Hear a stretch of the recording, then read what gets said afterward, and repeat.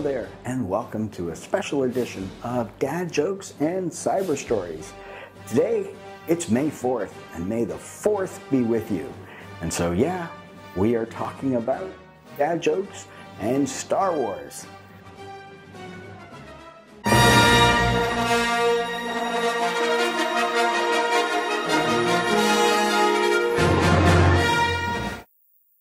So, did you know that Darth Vader had a secret sister? They called her Ella Vader.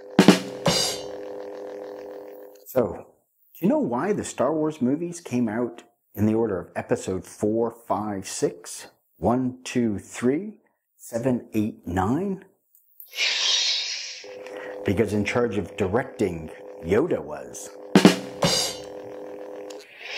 So, where did Luke get his cybernetic hand? From the second-hand store.